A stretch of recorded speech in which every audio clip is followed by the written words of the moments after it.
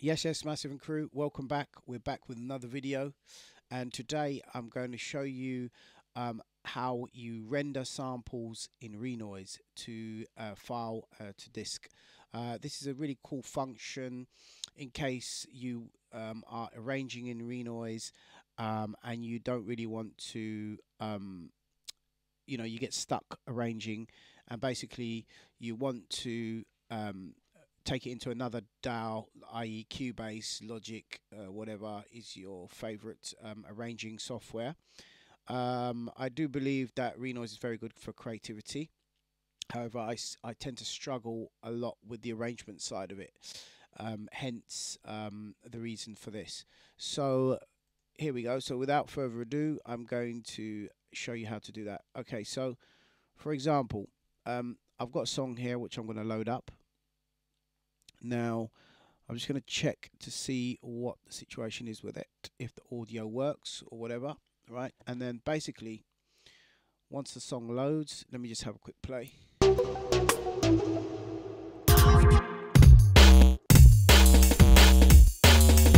Okay, so you got your song playing.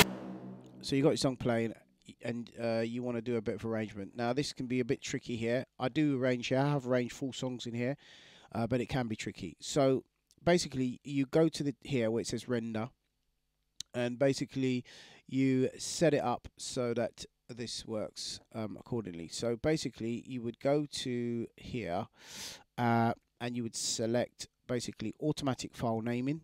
Now, it's important to make sure that all your tracks are not like me.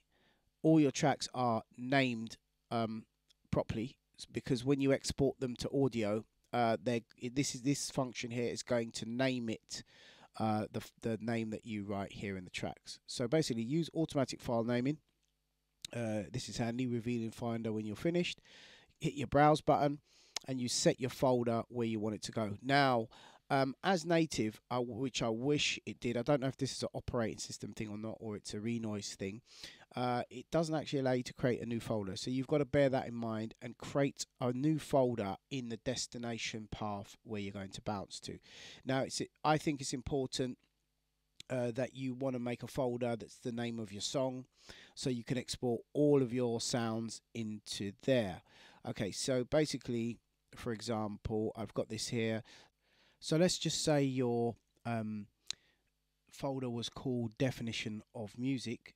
Uh, you would just go to your definition of music folder and then you would basically um, uh, select it, press open, and then um, you would go to save it to there.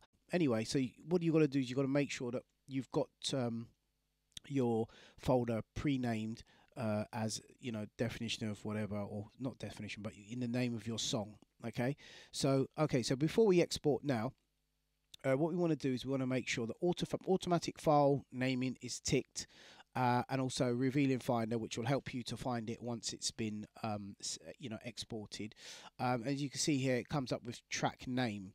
Um, now you've got to make sure that all of your track names are named properly on your actual uh, song. Like, you know, don't do things like this. Have just like track two because it can be confusing later on. Uh, because what it's going to do is it's going to make all these audio files, and um, it's going to name them whatever name that you put here.